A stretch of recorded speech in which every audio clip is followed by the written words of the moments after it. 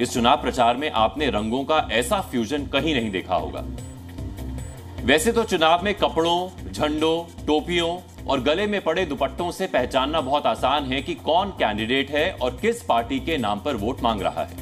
क्या उसका एजेंडा है? लेकिन बिहार के सिवान में पूर्व बाहुबली सांसद शाहबुद्दीन की पत्नी हिना शहाब इस ट्रेंड को तोड़ती दिख रही हैं कि किसी एक रंग पर किसी एक पार्टी का विशेष अधिकार है। हिना शहाब बुरके में वोट के लिए घूम रही हैं। लेकिन उनका प्रचार पूरा भगवाधारी है। लेकिन इस तस्वीर से पहले आपको बिहार के दरभंगा का हंगामा दिखाते हैं, क्योंकि इस हंगामे की जड़ में काला बुरका ही है।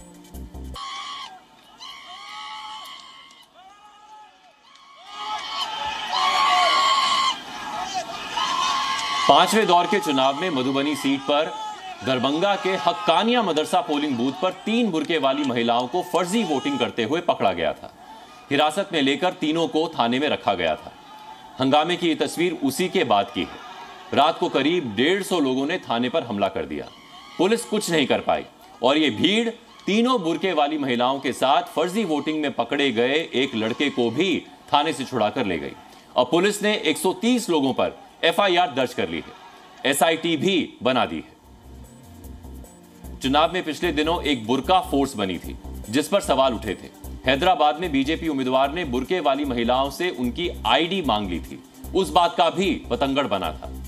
ऐसे विवादों के बीच बिहार के सिवान की ये तस्वीरें आपको थोड़ा रूहानी सुकून दे सकती हैं। सिवान की सड़कों पर पैदल मार्च करते हुए एक बुरकाधारी महिला और उसके साथ कुछ भगवा तो कुछ पीले दुपट्टों, गमछों, टोपियों और साफों में चलते लोग। थोड़ी देर को लगेगा कि ये वीएचपी या बजरंग दल वाले कोई प्रभात फेरी निकाल रहे हैं।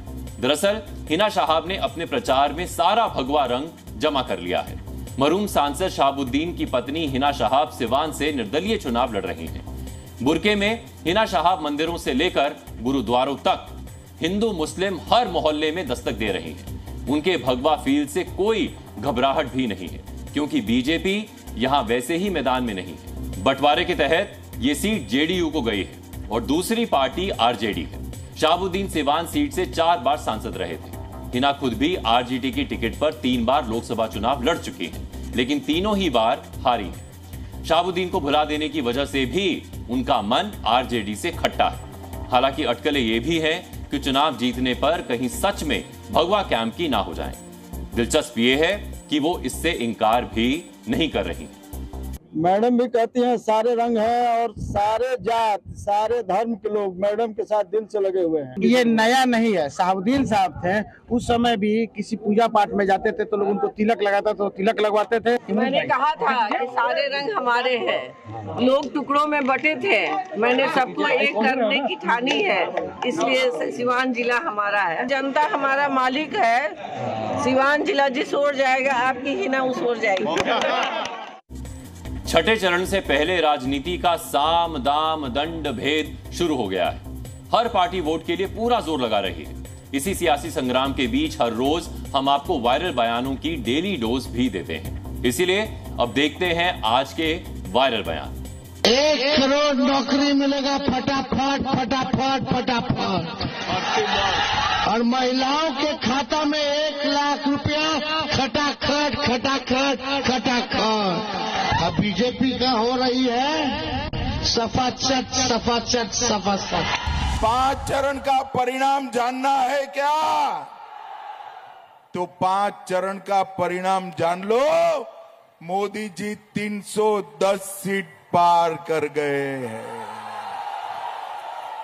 और ये ममता दीदी का, इंडी अलायंस, उनका सुपड़ा साफ़ हो गया है, साफ़ हो गया।